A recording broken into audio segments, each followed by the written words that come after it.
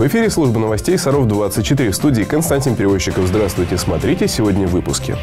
Как не стать жертвой черных кредиторов? Рекомендации специалистов Центробанка. Комплименты и теплые пожелания. Мужчины нашего города поздравили представительниц прекрасного пола с праздником.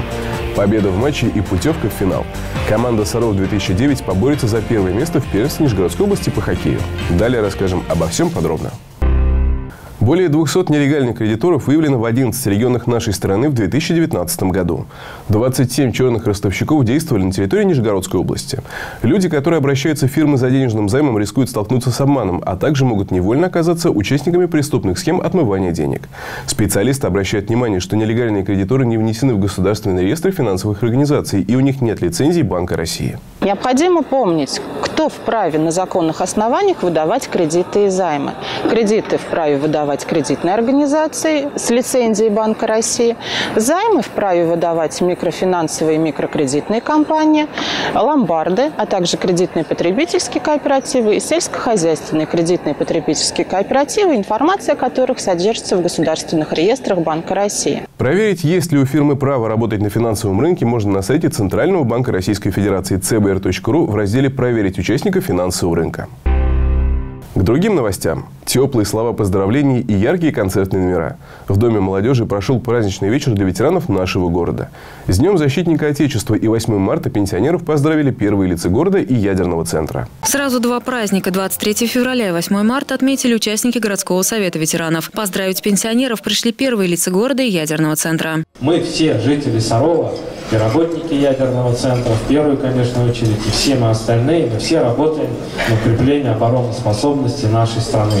И день 23 февраля мы достойно отмечаем все вместе. И мужчины, и женщины, и, и работники, э, бывшие работники, ветераны, и будущие наши э, работники. Большую помощь в подготовке праздника оказал Российский федеральный ядерный центр. От лица руководства Рафиат Свиньев, заместитель директора Юрий Якимов поблагодарил ветеранов за воспитательную работу, которую они проводят с подрастающим поколением, за конструктивную критику и вклад в развитие города. Вот поколение, которое, так сказать, пришло вам на смену, должны, наверное, понимать это и поддерживать э, нашу ветеранскую организацию с тем, чтобы, так сказать, как-то достойно отплатить за те заслуги, которые вы в свое время, свою жизнь и свои силы отдали на благо нашего общества. Сейчас в состав городского совета ветеранов входит около 10 тысяч человек. В феврале его возглавил Александр Леонтьев. Как отмечают пенсионеры, с приходом нового руководителя в организации многое изменилось. В том числе переписали устав, сформировали новый состав, привлекли новых участников.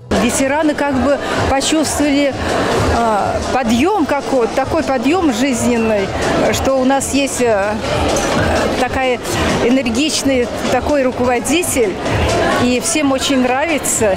И мы э, думаем, что теперь наша жизнь э, будет только в лучшую сторону. Особым подарком для ветеранов стало выступление вокальных коллективов города.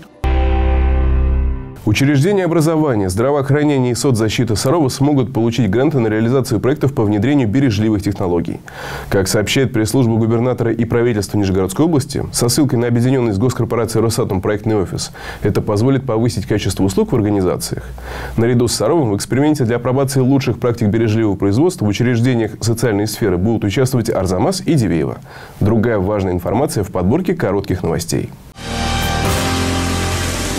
Сарове с рабочим визитом побывала руководитель Федерального медико-биологического агентства России Вероника Скворцова. Она посетила клиническую больницу номер 50, медицинский колледж и ситуационный центр сервиса «Умный город». Для справки, в конце февраля Федеральное медико-биологическое агентство России заключило соглашение о сотрудничестве с Росатомом, одним из пунктов которого является совершенствование качества медицинской помощи в городах присутствия атомной отрасли. В четверг, 12 марта, в Центре поддержки предпринимательства пройдет семинар на тему «Закон о самозанятых и налог на профессиональный доход. Права индивидуальных предпринимателей на льготы и налоговые вычеты». В роли ведущего выступит старший преподаватель кафедры налогов и налогообложения Приволжского института повышения квалификации ФНС России Татьяна Солодимова. Начало в 11 часов. Записаться на семинар можно по телефону 992 63. Центр поддержки предпринимательства работает по адресу проспект Октябрьский, дом 13. 6 марта – день создания всероссийских отрядов юных инспекторов дорожного движения.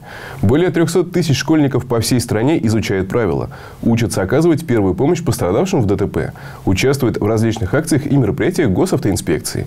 Главная задача юных помощников – активно участвовать в пропаганде правил дорожного движения среди детей и подростков. О том, как развивается это движение в нашем городе, расскажем далее.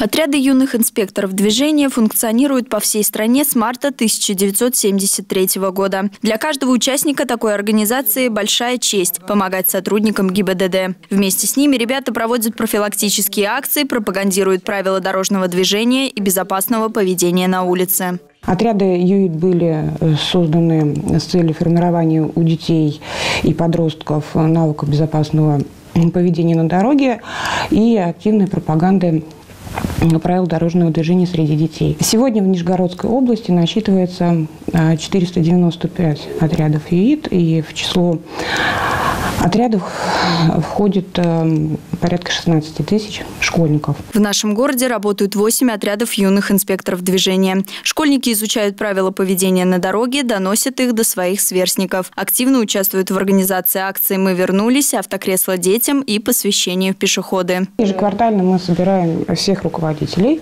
отрядов ЮИД, э, обсуждаем планы на, допустим, на будущее время какое-то определенное. У каждого отряда ЮИД есть свой план профилактической работы совместной с ГИБДД, в котором действительно указывается, там, допустим, если весна, мы проводим профилактические мероприятия, например, там, сбавь скорость, да, либо там зима. А, если лето, направлены на профилактику, например, э, правил дорожного движения для вот именно велосипедистов. У всех членов отрядов есть отличительные знаки – форма, значок и удостоверение. Юидовцем может стать любой школьник, которому не безразличны жизнь и здоровье других людей, который хочет пропагандировать культуру и взаимопонимание между участниками дорожного движения. Для этого нужно обратиться к руководителям отрядов в общеобразовательных учреждениях. О любви не только. Накануне Международного женского дня в проекте «Читаем вслух» вновь приняли участие папы с сыновьями. В этот раз они читали письма времен Великой Отечественной войны. Что писали своим любимым бойцы Советской армии с фронта? О чем они думали перед боем и с какими словами обращались к матерям, женам, невестам? Подробности в следующем репортаже. Второй год подряд в преддверии 8 марта папы с сыновьями приходят во Дворец детского творчества, чтобы принять участие в проекте «Читаем вслух». В этот раз им предстояло прочитать военные стихи и письма, которые в годы войны солдаты написали своим матерям, женам и дочерям. Все, что они сегодня читали, это истории конкретных людей, конкретных жизней, погибших, выживших. В год 75-летия Победы, мне кажется, очень правильно говорить не только о сегодняшних молодых, красивых, умных девушках и женщинах, а вспомнить еще о тех, кто 75 лет назад, 80 лет назад был такими же молодыми, счастливыми, красивыми, но война все подкосила. Будущее для меня – это ты. Впрочем, зачем я говорю о будущем? Ведь когда ты получишь это письмо, меня не будет. Александр и Семен Тихоновы прочитали письмо Петра Глухова своей невесте. В проекте «Читаем слух» отец и сын участвуют впервые. Со сцены они старались передать все переживания солдата, который понимал, что у него впереди последний бой, и домой он уже не вернется. Я лично очень близко воспринял вот те слова, которые я слышал. Не только в том письме, что мы читали с сыном, но и вот э, другие. Каждый участник проекта выходил на сцену и старался прочитать свой отрывок с выражением, чтобы каждый присутствующий в зале понял, насколько тяжело было солдатам и матерям в то время. И многим это удалось. Зрители из зала выходили со слезами на глазах. Мне как историку это очень близко, ценно и очень хорошие, глубокие впечатления. Все с душой так рассказывали, все эти строки, что было приятно слушать. Следующая встреча в рамках проекта «Читаем вслух» пройдет 27 марта. Девятиклассники школ города прочитают отрывки из произведения Эмилия Золя «Женское счастье». Букеты цветов, комплименты и поздравления. Традиционно в начале марта отмечается Международный женский день. В этом году в адрес женщин теплые слова будут звучать несколько дней, так как 9 марта тоже выходной. Специально для саровчанок мы собрали самые красивые слова поздравлений и пожеланий от представителей сильной половины нашего города. 8 марта – весенний праздник прекрасной половины человечества. В этот день традиционно представители сильного пола поздравляют женщин и девушек всего мира с их праздником. Вот и мы решили спросить у мужчин нашего города, что бы они хотели пожелать нашим очаровательным дамам. Всех хороших, замечательных женщин с праздником. Всего хорошего, самое главное здоровья. Ну и всего-всего-всего. Поздравляю с праздником весны, женщин нашего города. Желаю весеннего настроения, счастья, успехов в жизни. Ну, всем желаю здоровья, главное. Настро... Хорошего настроения, благополучия, семейного счастья, всего-всего самого хорошего. Мне бы очень хотелось поздравить свою дорогую мамочку. Она у меня такой замечательный человек. Это какой-то, наверное, ангел для меня.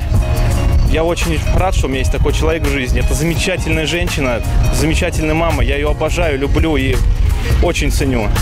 Хотел бы больше ей давать своей любви, но, но я очень ее люблю. Пускай она это знает. Моя дорогая мама, люблю тебя. И хотел бы пожелать э, счастья, здоровья э, с нашим женщинам. Они, они у нас прекрасные. В России у нас самые хорошие женщины. Самые милые, самые красивые. Пускай всегда остаются такими же. Желаю счастья, здоровья, благополучия, чтобы было все хорошо чтобы было здоровье, а это самое главное. Великий праздник 8 марта. Э, я желаю всем э, женщинам, ну и девушкам, конечно же, э, красоты, чтобы они были самыми красивыми на свете и всегда любили своих детей. Здоровье, остальное будет.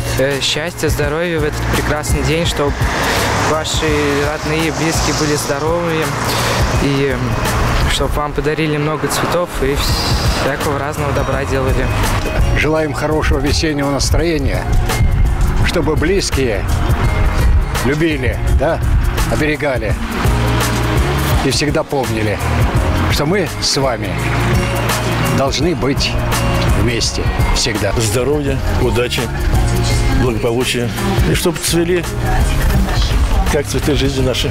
Без женщины и мужчин-то не было бы, и не состоялись бы они как мужчины. Ну а что женщинам пожелать? Чтобы были всегда потрясающими, привлекательными, толкали мужчин на безумные поступки, ну а в доме всегда был уют и порядок. Я поздравляю свою, свою маму, бабушку с этим, с 8 марта. Это поистине великий праздник, который заслуживают все женщины на этом свете. Люблю я женщин разных, особенно прекрасных. И молодых, и старых. Ах, как я их люблю. Люблю простых и классных. Люблю, когда контрастны. А вообще не важно. Я женщин всех люблю. 39 очков и первое место в турнирной таблице. Команда «Саров-2009» вышла в финал первенства Нижегородской области по хоккею. Решающий матч юные саровчане сыграли со сверстниками из Мурома. Команда «Кристалл» уступила напору наших спортсменов. Встреча закончилась со счетом 4-1. Подробности в следующем репортаже. Игра саровчан с Муромским «Кристаллом» стала решающей. Команды боролись за выход в финал первенства Нижегородской области. С первых минут юные хоккеисты включились в борьбу. Подопечные Максима Новикова взяли инициативу на себя и стали активно атаковать ворота соперников. Первый период закончился со счетом 3-0 в пользу Сарова. Они чуть-чуть в пас не играли, не жадничали. Когда-то защитники вперед уходили, мы э, э, атаки делали, забивали. На добивание они давали нам добить, э, и чтобы мы забили а мы вот не давали. Юношеский азарт и стремление к победе не давали расслабиться соперникам. Во втором периоде муромским хоккеистам удалось забросить одну шайбу в ворота конкурентов. Однако этого было недостаточно, чтобы победить. Спортсмены нашего города грамотно держали оборону и работали в команде. По словам тренера команды «Кристалл», его подопечным не хватило опыта участия в соревнованиях. Но ничего страшного, я думаю, мы будем продолжать работать, совершенствоваться и добиваться успехов, но немножко чуть попозже. Местные ребята соперник продемонстрировали, противопоставили нам очень зрелую игру, качественную игру. Я считаю, что Максим Новиков привел команде э, те черты, за счет э, которых она играет в пас, от, остро атакует, э, забивает шайбы, разыгрывает комбинации, разыгрывает большинство. То есть видно играющие команды. Встреча закончилась со счетом 4-1 в пользу саровчан. Сейчас команда «Саров» занимает первое место в турнирной таблице первенства Нижегородской области среди юношей 2009-2010 года рождения.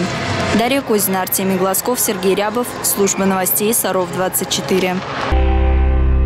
И это все, чем мы успели рассказать сегодня. Следите за новостями города в группах канала 16, в социальных сетях ВКонтакте, Facebook и Одноклассники.